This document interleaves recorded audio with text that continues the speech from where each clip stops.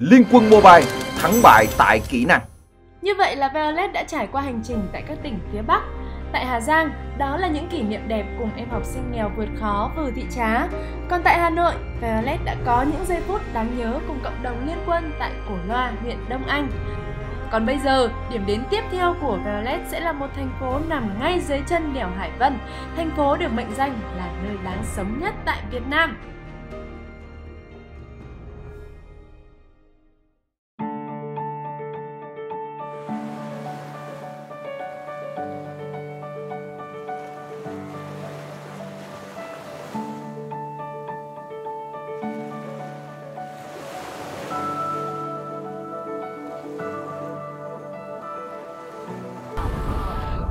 Các tiếp tục cuộc hành trình cùng với Ghen à, Liên quân Mobile thì tại ngày hôm nay Valet đang được ngắm một buổi bình minh lên trên vùng biển thuộc thành phố Đà Nẵng. Và không biết là ở xung quanh đây thì mọi người đang làm gì? À, Valet cảm thấy là họ đang có một phiên chợ cá vào buổi sáng và hãy cùng với Valet trải nghiệm nhé.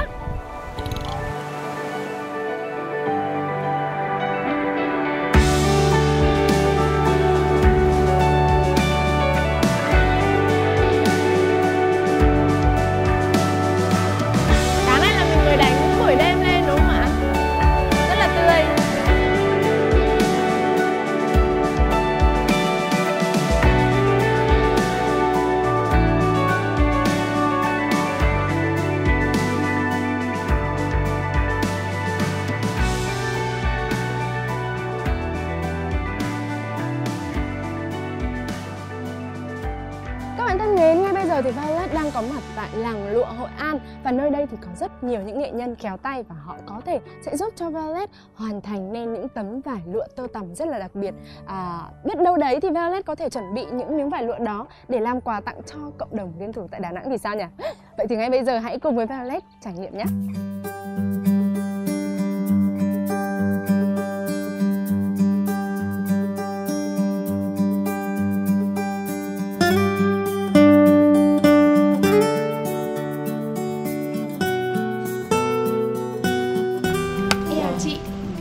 Chị đang thực hiện công đoạn gì đây ạ? chị đang ươm tơ À, đây là ươm tơ đúng không ạ?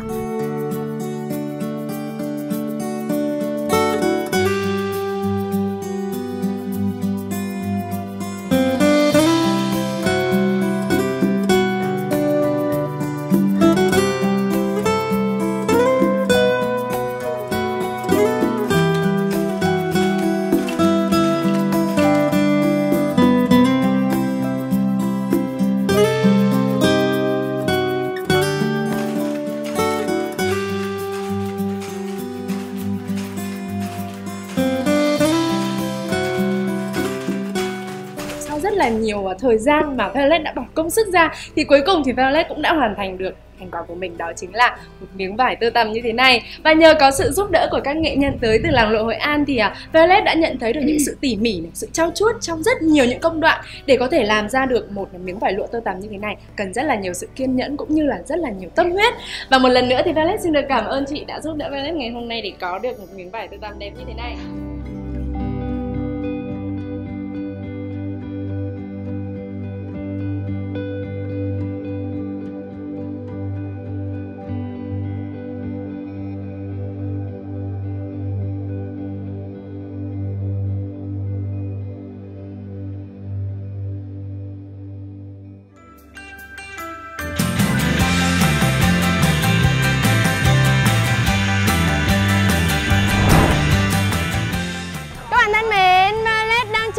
Có một cuộc gặp gỡ cũng như là có rất là nhiều mini game và các phần quà vô cùng đặc biệt để chuẩn bị dành tặng cho các bạn cộng đồng game thủ tại Đà Nẵng.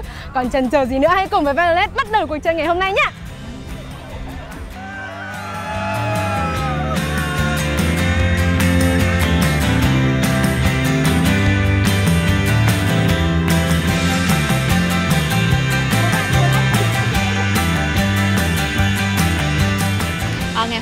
À, chúng mình đã được tham gia những cái hoạt động như là chơi uh, giật cờ uh, chơi uh, những cái trò chơi rất là vui của bên tổ chức và được uh, ăn uống ở bãi biển ạ.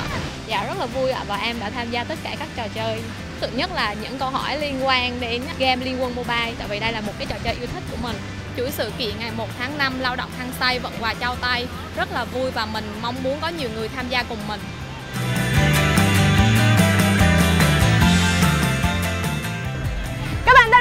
Là buổi offline tại Đà Nẵng của chúng mình ngày hôm nay đã sắp khép lại rồi. Và nếu như tiếp theo các bạn muốn Violet ghé thăm tỉnh thành nào thì hãy nói cho Violet biết nhé Còn bây giờ thì xin chào và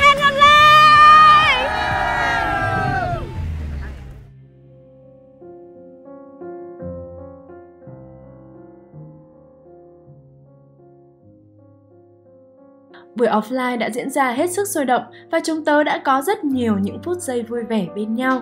Các bạn cộng đồng Liên quân Đà Nẵng đã viết ra những mong ước của mình và hy vọng rằng những điều này sẽ trở thành hiện thực và lan tỏa tới cộng đồng Liên quân trên khắp cả nước.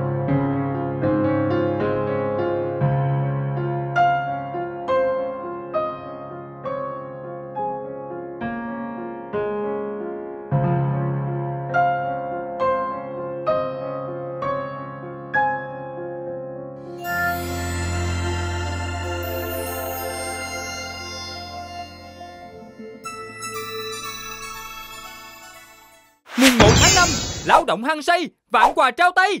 Với hàng nghìn quà tặng, xe máy MGX, TV, 9.000 thẻ điện thoại, 1.000 bộ áo liên quân và vô vàng những phần thưởng khác. Tham gia ngay thôi! Garana Liên quân Mobile và ấn chuông để nhận tin về quà miễn phí, tưởng và trang phục mới cùng giải eSports đỉnh cao.